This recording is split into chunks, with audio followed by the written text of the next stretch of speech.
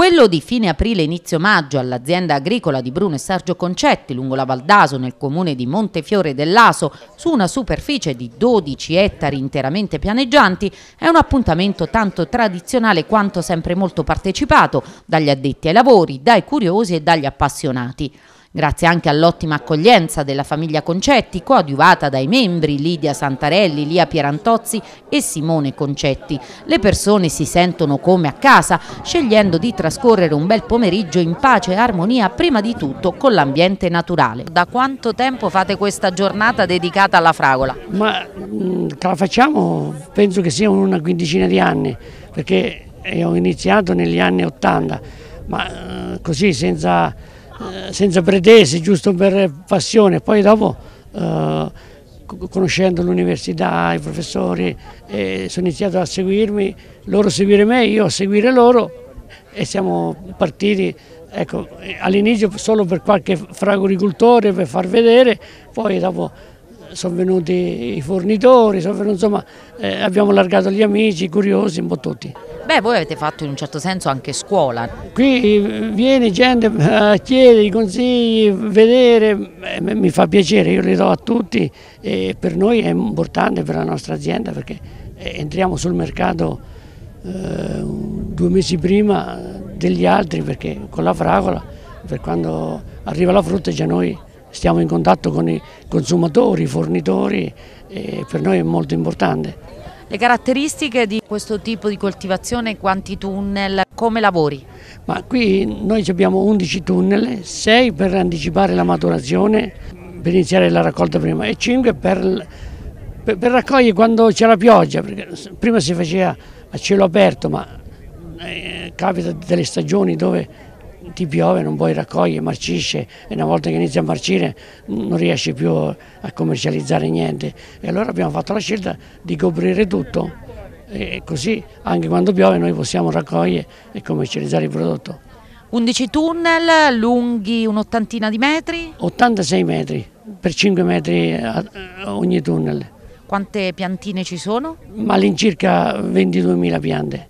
La raccolta, siamo solo agli inizi, come sta andando? Beh, la raccolta abbiamo fatto già una settimana.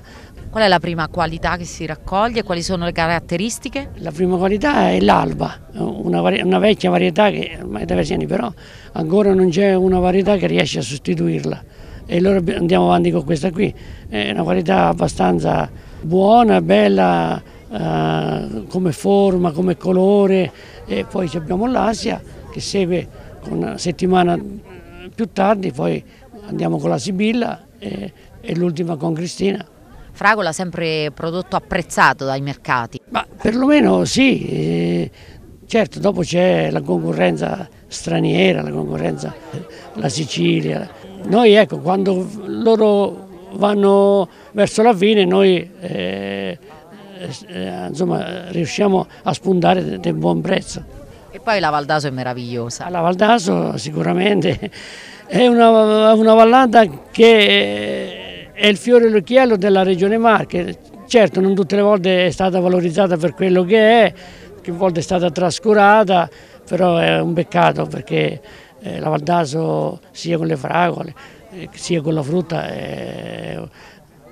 non è che lo diciamo noi, lo dice chi viene da altre regioni che la, la frutta nostra è saporita. In occasione di questa giornata le persone, oltre che assaggiare le fragole, vedere le piantine, carpire i segreti della coltivazione, possono seguire il convegno che annualmente viene organizzato per conoscere le innovazioni e i progetti in atto, grazie alla longeva collaborazione con il Dipartimento di Scienze Agrarie, Alimentari e Ambientali dell'Università Politecnica delle Marche. Noi come università siamo sempre impegnati così ormai da più di vent'anni in questo ambito, lavorando sempre sulla selezione, individuazione e selezione di nuove varietà interessanti. Noi quest'anno presentiamo due selezioni che presumibilmente il prossimo anno invece saranno varietà perché riteniamo di particolare interesse per l'adattabilità all'ambiente ma soprattutto per la qualità. Una molto dolce, molto precoce eh, dobbiamo ancora identificare il nome, decideremo, sarà la novità del prossimo anno, insomma il nome di questa varietà e una seconda eh, altrettanto molto buona con un sapore più equilibrato, molto dolce ma anche con un po' di acidità. Quindi questo è un po' il risultato dell'attività che stiamo facendo un po' per questo territorio che però si espande in molte altre aree, nel senso che comunque il nostro programma è un programma abbastanza internazionale, queste varie selezioni e varietà le riconosciamo di interesse per l'ambiente nord, quindi le stiamo sperimentando anche in Francia, in Germania e presumibilmente avranno una diffusione anche in questi paesi. Allo stesso tempo però abbiamo avviato anche un programma di miglioramento genetico finalizzato più agli ambienti sud, quindi partendo sempre anche da una sperimentazione che facciamo presso questa azienda e altre aziende, trasferiamo materiale genetico anche in ambienti del sud, che significa sud Italia, quindi eh, principalmente Metaponto, Basilicata e anche Spagna, Grecia, addirittura Algeria, eh, Marocco e stiamo anche lì trovando molti risultati. Quindi cioè, questo piace mettere in evidenza come comunque dalla Regione Marche, da questi ambienti, quelli delle aziende dell'università ma anche delle aziende che seguono un po' le attività che stiamo facendo, poi si possa originare qualcosa che abbia un impatto molto più ampio. Nell'occasione dell'incontro tecnico è stato presentato dunque questo nuovo progetto che può contare anche su un finanziamento pari a circa 440 mila euro, denominato Soluzioni innovative per estendere la produzione e il calendario di maturazione di fragole e piccoli frutti nelle Marche. All'interno del PSR della Regione Marche della, eh, della misura 16.1 eh, diverse aziende hanno avuto la possibilità di accedere a dei finanziamenti e ehm, questo progetto proprio ha lo scopo appunto di evitare che cosa? Di evi innanzitutto di introdurre nuove specie di piccoli frutti tipo il mirtillo, il lampone ehm, e altri.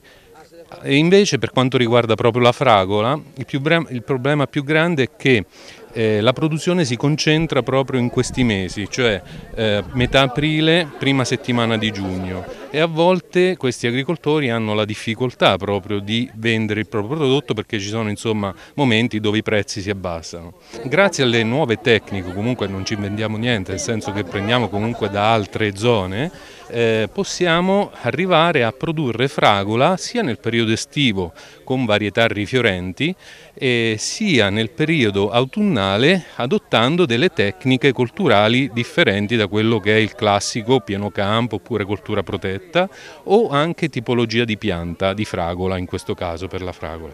Quindi dare la possibilità a questo agricoltore di produrre per un periodo più lungo quindi andare in momenti dove i prezzi sono più remunerativi e fornire anche dei prodotti diversi, quindi piccoli frutti più diversificati e quindi eh, dare una possibilità a queste aziende di avere più remunerazione.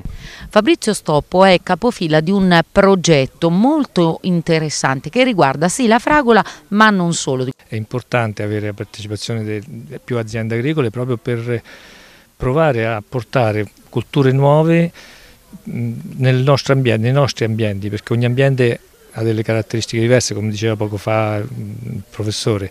Io sto facendo uno fuori, del fuorisuolo, e fuorisuolo significa produrre senza terra, ma con materiali inerte, andare cambiare un po' il sistema di coltivazione e tradizionale come siamo soliti fare nelle nostre zone. Si partirà con, con eh, produzione di piccoli frutti, mirtilli, lamponi e fragole fuori suolo, soprattutto con fragole rifiorenti con più varietà proprio per testare la capacità di queste nuove cultivar eh, nel nostro ambiente nei nostri areali. Insomma. È un po' una scommessa ma voi agricoltori pure se siete legati alla terra siete bravi anche a scommettere sulle novità. È dura cambiare mentalità, questo è, bisogna, bisogna, ammetterlo. Insomma. Siamo riusciti a fare questo gruppo grazie ai contributi al PSR, grazie alla Regione, grazie alla collaborazione dell'università proprio per cercare di stimolare gli agricoltori a, a qualcosa di nuovo qualcosa che speriamo dia futuro un po', rinnovi un po' l'agricoltura, la nostra agricoltura insomma. L'obiettivo è quello di espandere la coltivazione dei piccoli frutti, in particolare fragola, lampone e mirtillo, per garantire un aumento di reddito e occupazione, in particolare nelle aree marginali della regione.